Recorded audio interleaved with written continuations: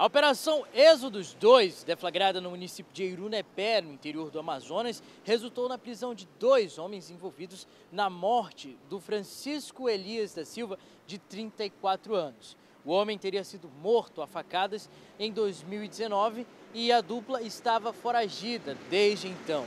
Isaías Barbosa Gonçalves, de 23 anos, e Erivan Silva dos Santos, de 21 anos, foram presos depois de serem foragidos há pelo menos três anos aqui no estado do Amazonas. Segundo o delegado de polícia do município, os dois homens já têm passagens pela polícia por tentativa de homicídios lá no município. E a operação foi deflagrada com o intuito de combater essas práticas criminosas no local. Isaías vai responder por homicídio e Erivan por tentativa de homicídio. Os dois estão presos na delegacia da cidade e estão à disposição da justiça.